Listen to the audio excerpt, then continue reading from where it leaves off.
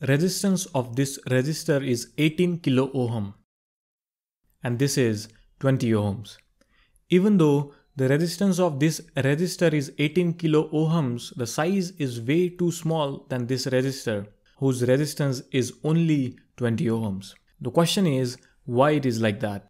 In this video, you'll be able to understand why the size of a 18 kilo ohm resistor is way too small than 20 ohm resistor. So to get the answer and to understand the power rating of a resistor, I'll recommend you to watch the video.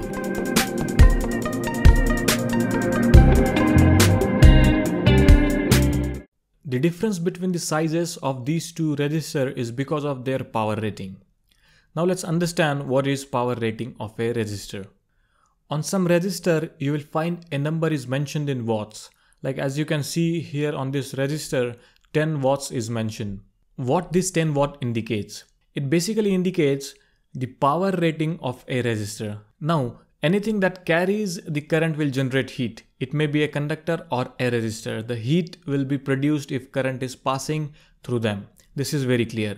So this 10 watts indicate that this resistor is capable of dissipating 10 watts of power as heat without building any dangerous temperature rise. And that is what we call as power rating of a resistor. The ability of a resistor to dissipate power as heat without causing any dangerous temperature rise is called as power rating of a resistor. Let's read it again. The ability of a resistor to dissipate power as heat without causing any dangerous temperature rise is called as power rating of a resistor. Power rating is given by simple I square R or V square by R. So in our example, as the power rating is mentioned as 10 watt, which means the I square R loss should be within 10 watts. Let's say I square R loss becomes 20 watts. Then what will happen? Well, the resistor will dissipate 10 watts without any problem. But the additional 10 watts will cause temperature rise of the resistor to increase to a dangerously high level because this power loss is nothing but the heat. And in few seconds, resistor will burn out. The physical size of a resistor is not necessarily depends upon the value of resistors, but rather on the power rating. A large sized resistor is able to dissipate more heat because of its large size and in similar way a small size resistor will be able to dissipate very small amount of heat. And this is the reason why 18 kilo ohm resistor is very small in size as its power rating is very small, maybe about 0.25 watts.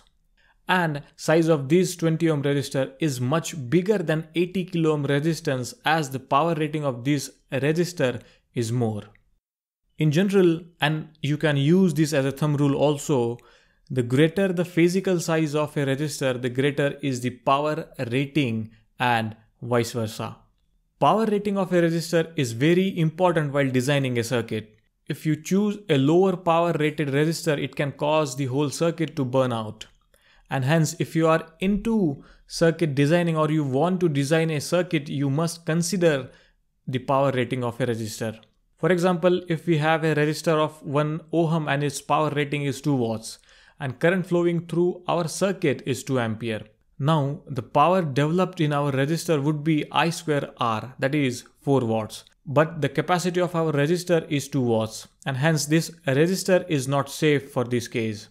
A 5 watt resistor will be safe to use in this circuit. There are resistors available which are designed to withstand and dissipate large amount of power. We call such kind of resistor as power resistor. Generally, such kind of resistors are made up from materials with high thermal withstand capacity. Resistance value of such resistor are generally small. This is also a power resistor of 10 watts made up of ceramic. If you know any other material used for power resistor, do let me know via comments. So I hope you are now clear about the power rating of a resistor. If you like the video, hit the like button and share it with your friends. Do check out the description of this video as I have given links for some other videos which would be helpful for you. That's all for this video guys. I'll see you in my next one. But till then, keep watching keep learning.